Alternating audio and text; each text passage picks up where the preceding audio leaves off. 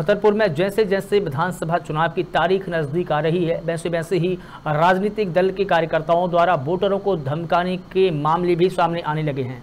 ताज़ा मामला महाराजपुर थाना क्षेत्र के बेला गाँव से आया है, जहाँ पर एक युवक ने थाने में शिकायत दर्ज कराई है। युवक का कहना है कि उसे कांग्रेस के पक्ष में वोट डालने के लिए धमकाया जा रहा है। कांग्रेसी कार्यकर्ताओं ने उसके साथ गाली गलौज भी की है।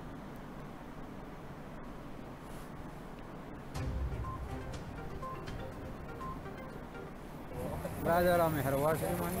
और कौन गाँव के निवासी हो? ग्राम सेला क्या हो गया? सर विवाद बहुत साढ़े सात बजे। कहाँ पे सेला में। आप कहाँ थे? हम घर पे थे। अपने किससे विवाद हो गया? पटेलों से। क्या नाम था किलाऊ पटेल मुकेश पटेल और हल्के भैया पटेल सुंदर पटेल। अच्छा तो क्या हुआ इस बात आए बोले चमरा अगर वोट तुम का कहा भाजपा वो कांग्रेस में नहीं दे रहे तो भोसड़ी के हमने एक मत डालो तो दूसरे हो निपटा दे वो गाँव से हम भगा दे। किसने बोला ये? ये किलाऊ पटेल मुकेश पटेल। हाँ जान जानकारी मिली है। कांग्रेस पूरी तरह बौखला गई है।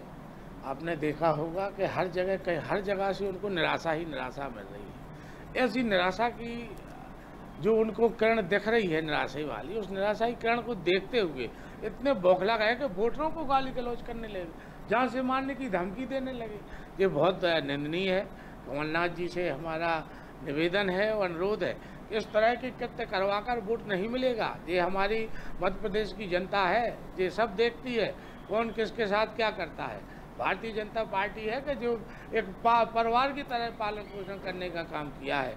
आज हमारे चाहे केंद्र सरकार की योजनाएँ हो, चाहे हमारे प्रदेश सरकार की योजनाएँ हो, हर जन जन तक पहुँचाने का हमारी दोनों सरकारों ने काम